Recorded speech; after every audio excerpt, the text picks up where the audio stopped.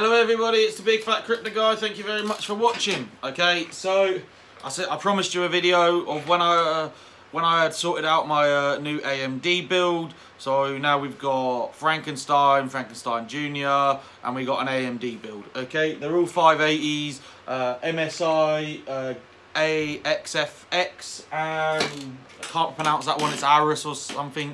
Um, I think it's from a, uh, MSI, something like that. So what have I learned? Flashing uh, a BIOS on uh, an AMD device, piece of pie.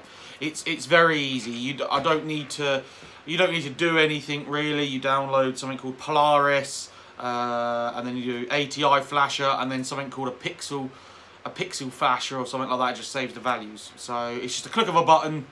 Uh, you pull off your other BIOS, which works already. Click of a button. Uh, you just put it back on, program it, uh, pixel patcher, whatever it's called, uh, and then that's it, done, sort of like that. So that took me about 10 minutes uh, to do the whole three cards.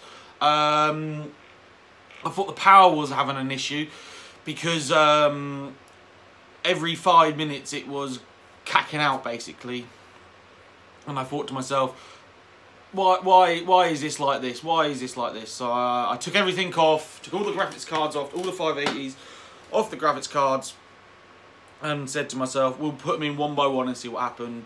Uh, it didn't happen again after that. Uh, I rewired how the PSU is working and then got it stable. And obviously that is uh, that is the AM1 AMD up there. NiceHash. what a pain in the ass it is for the uh, the legacy uh, the legacy miner program so I've had some problems with this. Uh, MSI Afterburner as well. I've had some problems. Uh, so with NiceHash, uh, you download the program. Uh, it benchmarks obviously if you're if you're going to um, use NiceHash, uh, put it on a standard benchmark.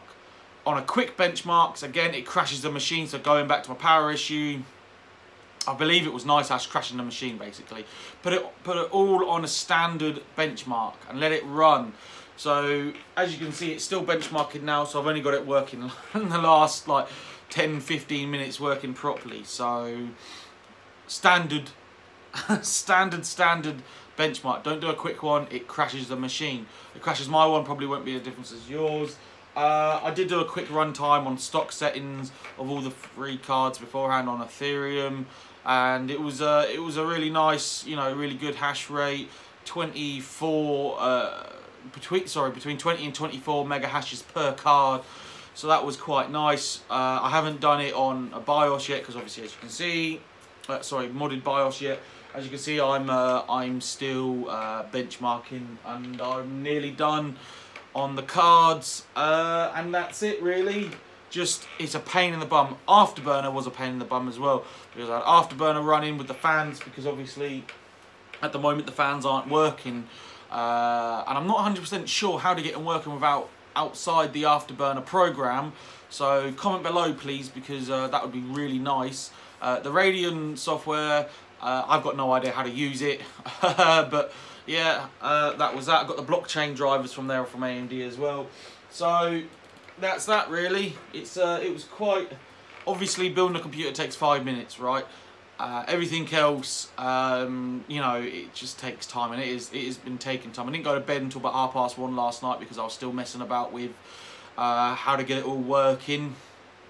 But slept on it, re re reconfigured, rewired some things, and basically got it working, benchmarking, it's not crashing, it's been on, it's benchmarked uh, 11 out of something like 44 uh, benchmarks or whatever, um, and that's it. Uh, please comment below because I would like to know about the Afterburner thing, the Radeon software and how to use that. I might, you know, Wikipedia it something because you can always get an education off Wikipedia. Uh, and and that's that. I shall Shall thank you very much for watching. Uh, likes, uh, share, subscribe, smash the smash the subscribe button, please. Thank you very much. That's the big fat crypto guy.